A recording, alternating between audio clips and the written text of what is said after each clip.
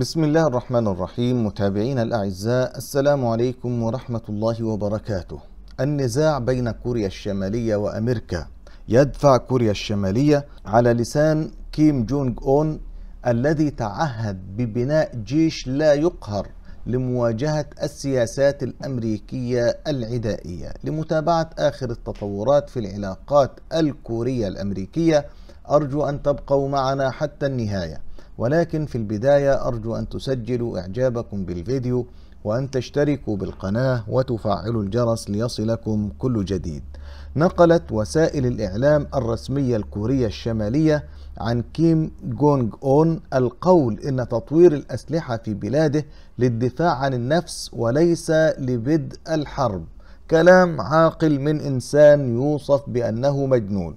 وأدلى كيم بتلك التصريحات بينما كان محاطا بتشكيلة من صواريخ ضخمة خلال عرض عسكري دفاعي نادر. يعني انظروا إلى هذه الترسانة الهائلة والتي تحيط برئيس كوريا الشمالية والذي يقول بأن هذه الترسانة الهائلة من أجل الدفاع. لا شك أننا نعلم تماما أن كيم يتعرض لحملات تشويه أمريكية هائلة ولكن رأينا منه دكتاتورا غريب الأطوار يوصف بالجنون في كثير من الحالات ولا شك أنه بعقليته وأدائه قد أفزع الجانب الأمريكي الذي أراد أن يبسط نفوذه على كل الأرض ولكن كوريا الشمالية كانت أحد المناطق العصية على هذا التطوير وأدلى كيم بتلك التصريحات بينما كان محاطا بتشكيلة من صواريخ ضخمة خلال عرض عسكري دفاعي نادر. طبعا نحن نعلم أننا نعيش في عالم لا يحترم إلا الأقوياء وفي عالم لا يعرف للضعفاء. حق لذلك نجد أن كوريا الشمالية بقدراتها العسكرية تجعل لنفسها رقم في هذا الكوكب. واختبرت بيونج يانج مؤخرا ما تقول إنها صواريخ جديدة خارقة للصوت ومضادة للطائرات الحربية. وفي الجنوب الكوري اختبرت سول إطلاق صواريخ من غواصات. وألقى الزعيم الكوري الشمالي خطابا في معرض الدفاع عن النفس في 2021 الذي تنظمه بيونج يانج وشهد عرض تشكيله من المعدات الحربية تضمنت دبابات. وتعليقا على التعزيز العسكري في كوريا الجنوبية قال كيم إن بلاده لا تريد أن تحارب جارتها. وأضاف كيم لا نفكر في شن حرب على أحد إنما نريد أن نمنع نشوب الحرب وأن نعزز ما لدينا من سلاح رادع من أجل حماية السيادة الوطنية. واتهم كيم الولايات المتحدة بتأجيج التوتر بين الكوريتين الشمالية والجنوبية. وقال كيم إنه لم يكن هناك أساس من السلوكيات يثني كوريا الشمالية عن الاعتقاد بأن الولايات المتحدة ليست عدائية. طبعا هذا الكلام بعد اللقاء الشهير اللي جمع كيم مع الرئيس الأمريكي السابق دونالد ترامب والذي ظن البعض أن هذه الزيارة ربما تقوم بتخفيف الاحتقان بين الجانبين. وأعربت إدارة الرئيس جو بايدن مرارا عن رغبتها في إجراء محادثات مع بيونج يانج لكنها طالبت الأخيرة بالتوقف عن تطوير أسلحة نووية قبل تخفيف عقوبات مفروضة عليها لكن كوريا الشمالية ترفض حتى الآن. طبعا أمر غريب لما تريد أمريكا والتي تبسط نفوذها على الأرض وتقوم بارتكاب المجازر والحروب هنا وهناك.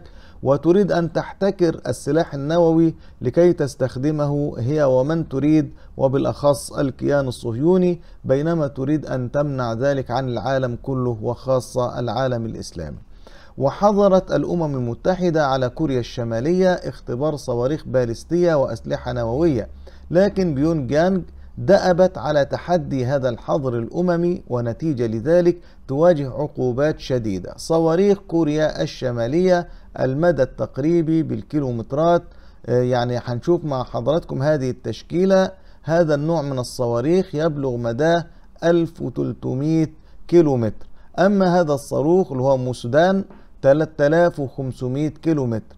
نذهب إلى الأعلى يعني في المسافة اللي هو يسمى هوسونج 12 ويبلغ 4500 كيلومتر. أما هوسونج 14 فيبلغ 8000 كيلومتر. أما هوسونج 15 فيبلغ 13000 كيلومتر. ثم نجد هذا الصاروخ كي ان 14 وكي ان 8 أحدهما يبلغ 10000 كيلومتر والثاني 11500 وأعلنت الوكالة الدولية للطاقة الذرية التابعة للأمم المتحدة الشهر الماضي أن كوريا الشمالية فيما يبدو قد أعادت تشغيل مفاعل لإنتاج البلوتونيوم المستخدم في تطوير أسلحة نووية في خطوة مثيرة للقلق العميق. وتصر بيونج يانج على القول إنها في حاجة إلى تطوير أسلحتها لأغراض دفاعية. ويرى مراقبون أن نظام كيم جونج أون دأب على القيام بتلك التحركات لإنعاش البلد الذي يعاني بشدة اقتصاديا لا سيما بعد أن أغلقت السلطات الحدود في محاولة لوقف تفشي وباء كورونا.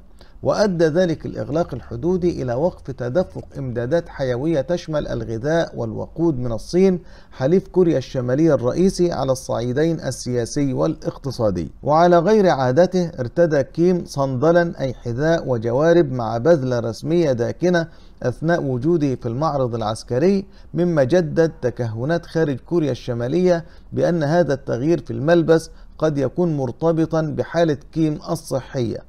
ويعتقد مراقبون أن الزعيم الكوري الشمالي يعاني مشكلات صحية تتعلق بوزنه بما في ذلك مرض النقرس الذي يمكن أن يتسبب بدوره في تورم القدم.